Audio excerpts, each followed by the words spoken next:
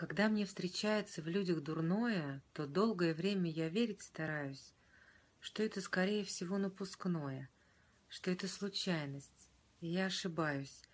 И мыслям подобным, ища подтверждение, стремлюсь я поверить, забыв про укор, что лжец, может, просто большой фантазер, а хам он, наверное, такое от смущения, что сплетник, шагнувший ко мне на порог, просто по глупости разболтался — а друг, что однажды в беде не помог, не предал, а просто тогда растерялся.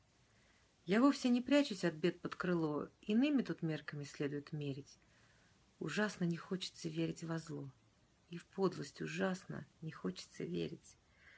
Поэтому, встретив нечестных и злых, нередко стараешься волей-неволей в душе своей словно бы выправить их и попросту отредактировать, что ли.